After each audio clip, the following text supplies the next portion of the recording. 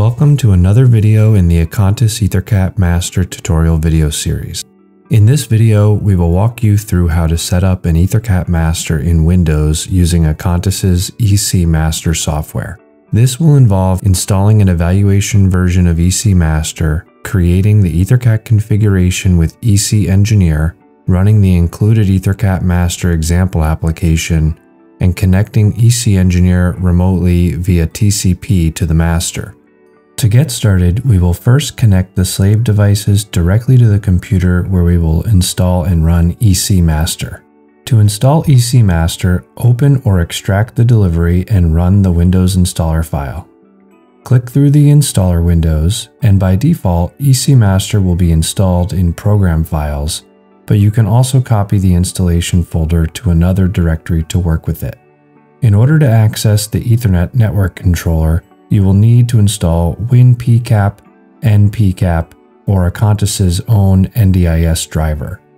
Here we will use the Acontis NDIS driver and install that as well.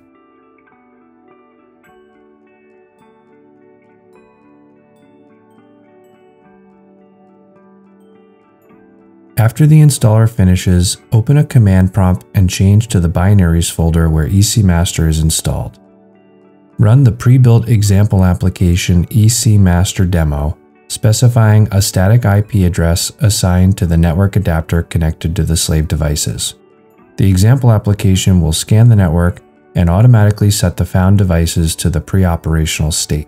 In this state, it is also possible to communicate with the devices via mailbox protocols like COE. At this point, EC Master has been successfully installed and connection to the slave devices has been established. To get the network into operational state, an ENI file is required, and we will use EC Engineer to create one. Now we will switch the network connection so that a computer running EC Engineer is connected directly to the slave devices. This could be the same computer that was running EC Master, or it could be an entirely different system.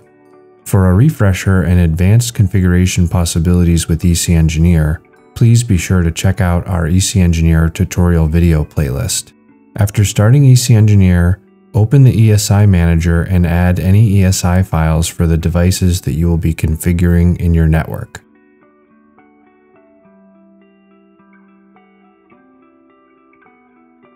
Once that is completed, select Online Configuration from the Start page as this matches our setup with the slave devices connected directly to our computer.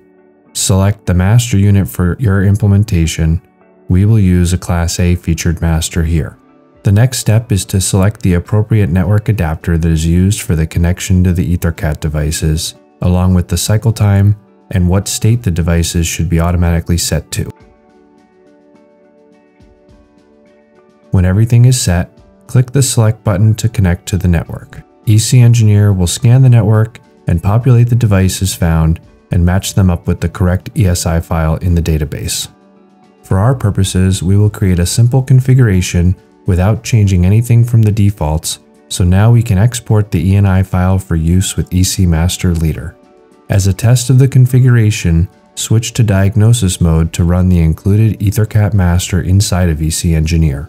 Check that the network is in operational state and functioning properly.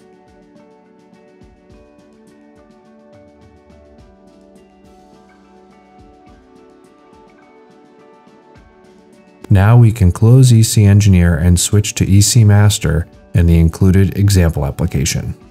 This could be the same computer that was running EC Engineer, or it could be an entirely different system. Just make sure that now the EtherCAT devices are connected to the system that will run EC Master, and the ENI file we created in EC Engineer is available on this system. Run the pre-built example application EC Master Demo with the ENI file we created from EC Engineer earlier, and some basic command line arguments. The full list of available command line arguments and their explanation is in the EC Master documentation linked below in the description.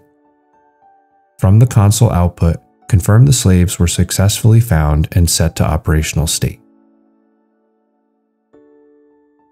It is also possible to connect EC Engineer remotely via TCP to the system running EC Master which can be very helpful to test and diagnose the master system during development. As mentioned, EC Engineer and EC Master can run on different computers connected via TCP, or they can run on the same computer with EC Engineer connected via a loopback.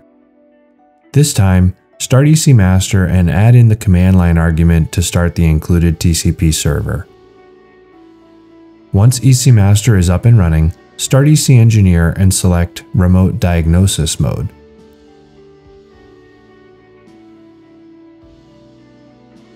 Choose the RAS protocol and specify the IP address of the master system on the local area network.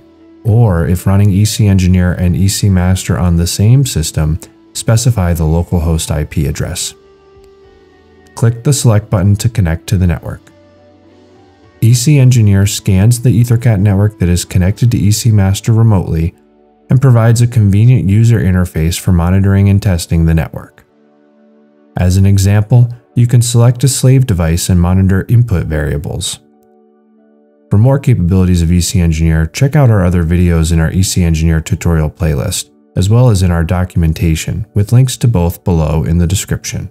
Thanks for watching and hopefully this tutorial video helps you get started with building an EtherCAT master for Windows with the Acontis EC Master software.